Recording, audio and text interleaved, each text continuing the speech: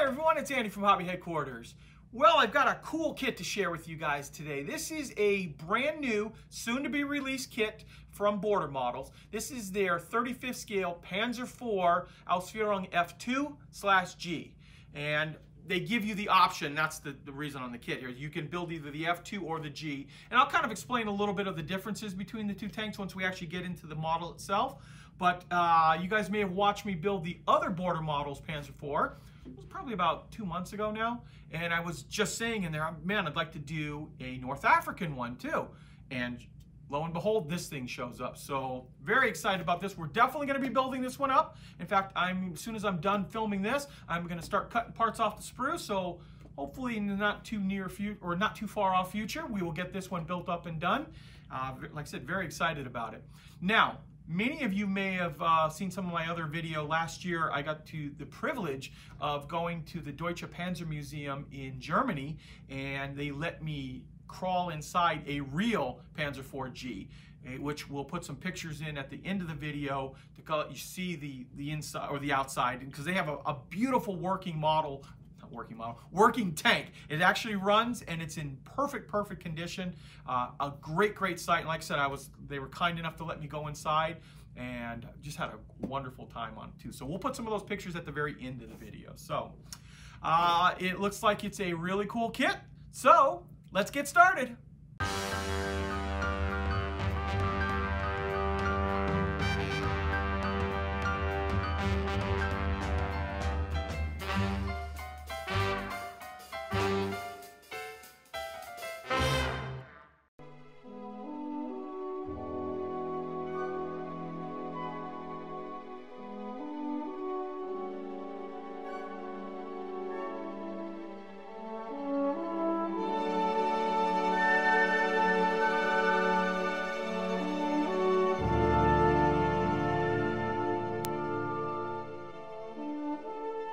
So let's take a look at the new border model Panzer IV F2 slash G.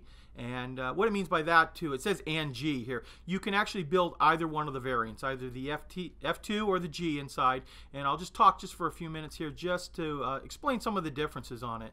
So up until that point of the, uh, the Panzer IV's evolution, the F1 looked like very similar to like a D or a C or B in you know overall shape. It still had the short 75 millimeter gun.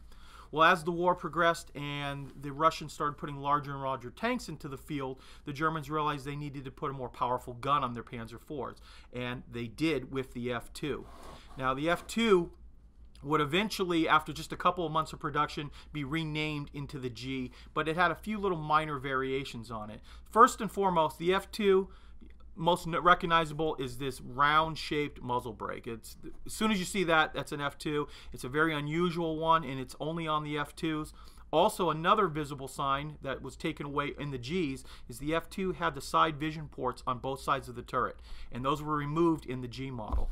And if we take a look at the, the side box art here, you can see this G here with the, uh, the standard muzzle brake and then the Panzer IV F2 with the round muzzle brake and also the, uh, the vision port on the side. Now I've been wanting to obviously do a North African uh, Panzer IV and I think this is going to be a perfect opportunity to do it especially since I have all of those pictures that uh, from the Deutsche Tank Museum in Germany when I was there last year. They have a beautiful restored G right on the grounds. It's actually fully runnable. I was allowed to go inside and uh, play around inside there, and it was just such a cool thing. So I've always wanted to build the tank that I got to go inside. So that's probably what we'll do on this when we actually do the build video on it, is make it very similar to the one that, uh, that I actually got to see. So now let's take a look at the parts inside this kit. First and foremost, I want to show you guys right off, comes with a metal barrel inside the kit. And the reason there is no muzzle brake on this is because they give you multiple muzzle brakes in plastic, all slide molded inside the kit. Now we'll take a look at the hull of the vehicle. And uh, Border has a, a, definitely a different way of molding it on, and I really like the way they've done this. All of these louvers, as well as all of the side of the upper hull, are all molded in as one piece. So it looks like they've done this all with slide molding because you still have all of this great detail on the side here detail on the bottom, detail on both sides. And so this had to have been done by a slide mold, I believe. I mean, based on the way it looks, especially with all the, yeah, it has to be because some had to come this way, one came down, and one came from both sides. So very nicely done with that, uh, that lower hull. And we'll take a look at the, uh, the top part of the hull.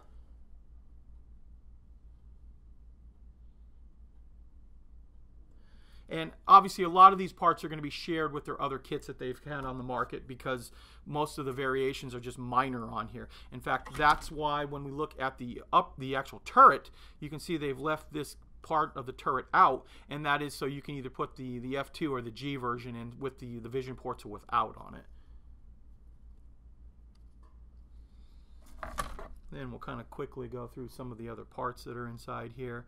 Uh, as you can see here, lots of slide molding. So on this part right here, we have the, uh, the muzzle brake. Now this is the muzzle brake for the G and part of the actual gun. Another plastic barrel if you don't use the, uh, the metal one. And actually, because I think you actually get two or three different barrels in here. So this is great for your spare parts box because you'll have extra barrels and extra muzzle brakes as well on that.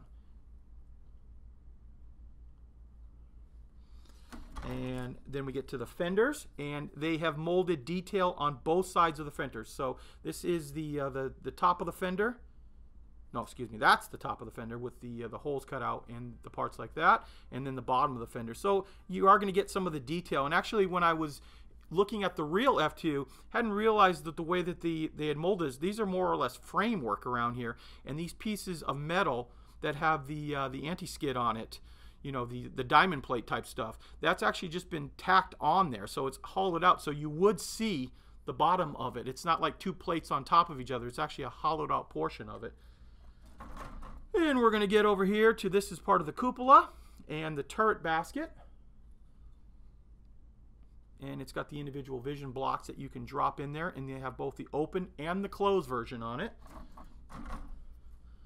some more accessories that we have here, some of the tools. Uh, more slide molding. It, it appears almost every one of the sprues on here too is done with some kind of slide molding too, so get some really nice detail on it. We're going to jump over to the uh, spare track, which they give you spare track from a uh, T-34 that if because uh, you know a lot of the the G's used in Europe would use T34 armor as extra armor or track armor. Just slap it all over there anything to help protect themselves. So we've got our wheels here and even like this these are the suspension arms here. They are slide molded as well so all of the detail is done on the outer portion of it and that means you don't have to attach those parts. So you get two sprues of that. This is more of the uh, the turret. So we've got a different cupola there more slide molded parts, another muzzle brake. The machine gun for the, uh, the front is also molded, slide molded. And then of course we have the bottom of our turret there. Looks like to be some really nice detail. Here is another turret basket. And these are the, the louvers that they have for the exhaust on the back. Now they also include with it photo etch ones as well and a whole bunch of decals. I think there's like eight different variations of tank you can build. Now, we'll show you those decals actually in a second there, but there are the metal louvers or the, uh, the plastic one-piece ones if you want to use either one of those. Come over to this section here. This is kind of funny. This actually has the, uh, the F1 barrel inside of it. It's a slide molded F1 barrel. So another great piece if you need it for your parts box it's in there and it's and it's because you probably need a couple of pieces off of here so rather than cut up the sprue they're going to give you the whole sprue so you're going to get lots of extra parts inside there.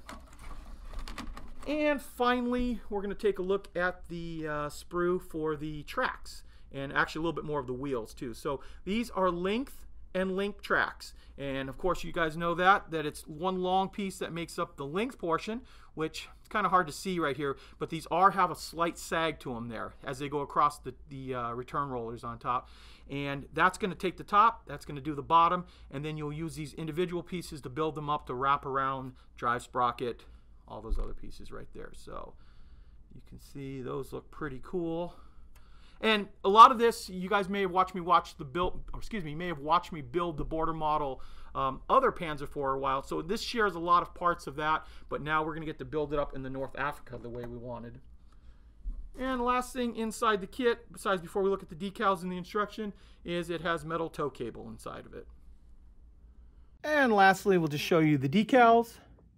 So you can see we get one, two, three, looks like four, or five, and then there are a couple, couple more for Kharkov division right there, the LAH division. And I'll just quickly let you see what the, the actual instructions look like inside there too. I know a lot of people like to see those just to see how the kit is going to go together. And just as you would expect, clear and up to date and very simple. They don't put too many parts on in each one of the instruction pieces, so you're not missing. Sometimes, you know, if there's like 20 pieces going on in one square, go, oh, I missed one of those pieces, but